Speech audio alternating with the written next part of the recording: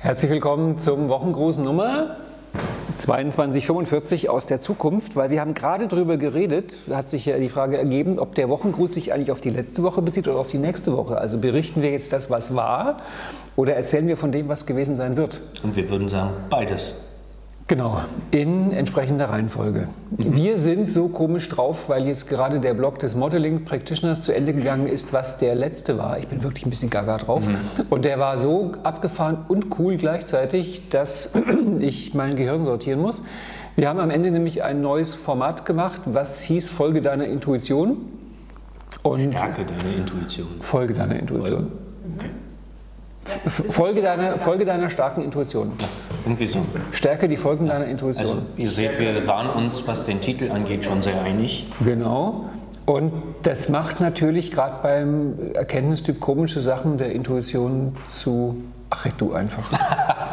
ich fand es heute wirklich sehr, sehr spannend, mal zu beobachten, ähm, dich, Ralf, in deiner totalen Kraft äh, zu erleben, ähm, mehr noch als sonst weil ich finde, dass dieses Modeling, also was wir heute da zusammen gemacht haben, aus den Gruppenwünschen zusammen ein Format zusammenzubauen und gemeinsam zu überlegen, wie können wir jetzt hier Formatelemente und Schnipselchen so anordnen, dass wir am Ende ein Format haben, was wirklich funktioniert und was halt wirklich äh, für die Gruppe konkurrent überzeugend ähm, funktioniert. Und dann Warum eben das, frage ich mich auch. Macht nichts, weiter. und ich fand es einfach so schön, diesen, diesen Experimentiergeist, wie es damals irgendwie in den Wild Days gewesen sein muss, irgendwie hier auch in der Gruppe gegeben hat, äh, dass wir halt ein Format ausprobieren und das dann in Kleingruppen gehen und dann üben und gucken, da quiekst und knurpselt noch irgendwie was und das hat so Wild Spaß Sunday. gemacht.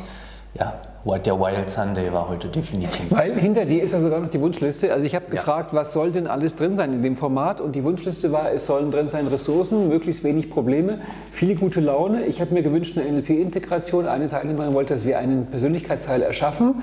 Man soll die Ressourcen selbst abrufen können. Man braucht eine Timeline in der Zukunft. Ein Switch sollte drin vorkommen, eine Vakuum-Trance. Daniel wollte gerne außer sich sein. Vor Freude. Und auch noch einen Alltagsanker mit drin und das Ganze bitte in ein Format reingepackt. Mhm.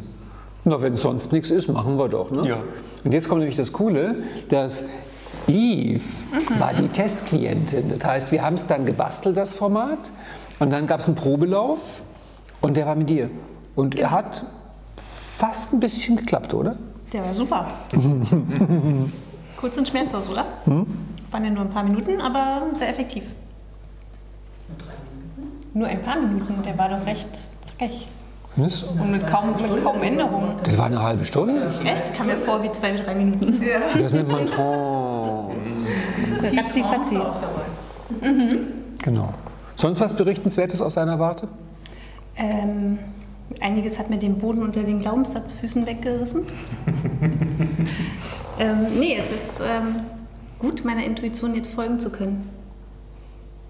Mhm. Können konntest du vorher auch schon, aber jetzt tust du es halt. Aber jetzt ne? kann ich ihr richtig mhm. nachgehen. Mhm. Sie war sogar ihre eigene Intuition. Wir haben einen Positionswechsel gemacht, sei deine eigene Intuition. Und einen Trick verrate ich, weil den fand ich echt cool. Ähm, wir haben der Intuition NLP beigebracht, sodass die Intuition jetzt mit Hilfe von NLP-Techniken Eve und alle, die das Format machen, davon überzeugen kann, folge mir.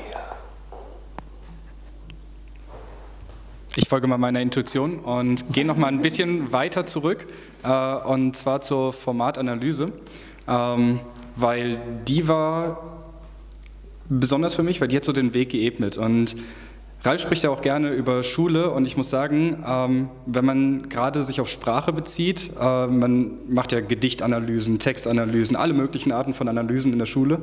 Und die Formatanalyse macht wirklich Spaß.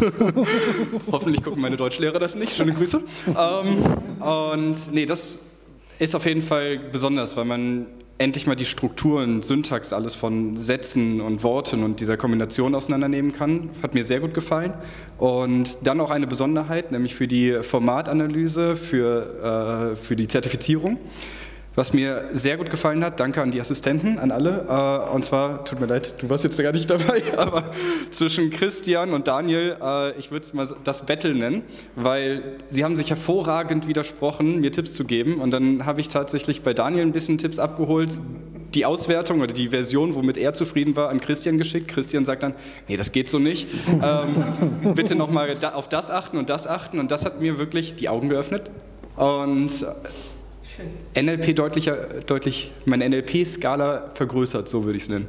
Cool. Und das ist genial, wie flexibel es ist und auch gerade danke an die Assistenten. Äh, Wobei ich wirklich auch sagen muss, wenn du es dann nach noch an Angela geschickt hättest, das hätte richtig geknallt. Aber das dann hättest du den richtigen Drive gekriegt als Hand. Dann hättest ja.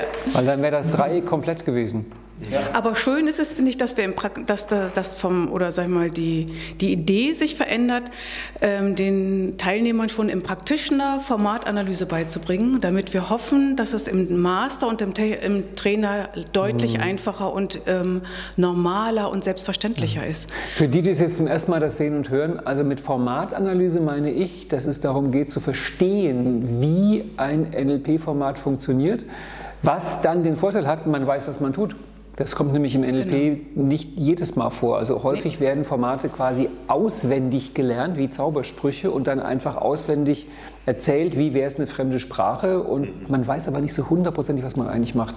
Und mit der Formatanalyse halt wirklich klar, Warum ist dieser Schritt da? Wie genau wirkt der? Wie ist der aufgebaut? Und das macht das Format wesentlich sicherer und vor allem halt, es gibt die Möglichkeit zu variieren. Ja, und ab, abgesehen mhm. an den Arbeiten, ne, die Masterarbeit oder Trainerarbeit, wo ja viele immer dran sitzen und ja. nicht den Mut haben, das zu machen, mhm. das üben wir schon vorher, so dass ja. es nur noch, noch ein kleiner Klacks ist und das Niederschreiben ist.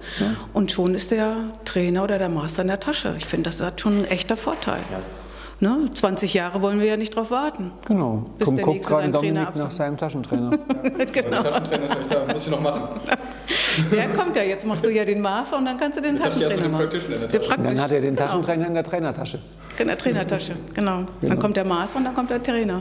Was war sonst noch? Ähm, gestern war die dritte Folge der Newsletter-Serie über glückliche Beziehungen trotz NLP. Beim ersten gab es 44 Kommentare, beim zweiten gab es acht Kommentare, beim dritten könnte dein Kommentar der erste sein, weil Stand jetzt gibt es da noch gar keine Kommentare. Ich glaube, die haben sich alle erschöpft. Aber das geht bestimmt weiter. Ähm, der, der, die, die Abozahlen vom YouTube-Kanal steigen in ungeahnte Höhen. Wir sind bei fast 650. Das finde ich also auch beeindruckend. Da kommen echt pro Woche, also fast, fast jeden Tag ein halber oder so dazu. Hm. Also wir schaffen irgendwann die 1000. Das freut mich auch. Letzte Woche war Dagmar, stimmt's, im Webinar?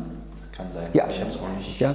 Ja, sie hatte doch in ihrem Status die ja, Bilder gezeigt. Das war ganz groß. Wie man große Ziele erreicht mit Dagmar. Also Dagmars Strategie. Ja, Steht noch online? Ja.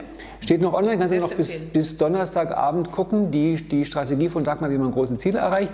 Diesen Donnerstag komme ich mal wieder im Studio Jablonski live von hier, weil am Mittwoch geht der erste Block los vom Trainertraining hier und Donnerstag ist Studio Jablonski und von unserem Team konnte niemand so richtig. Warum du eigentlich nicht? Wollen wir mal die, müssen wir gar nicht irgendwie drüber reden.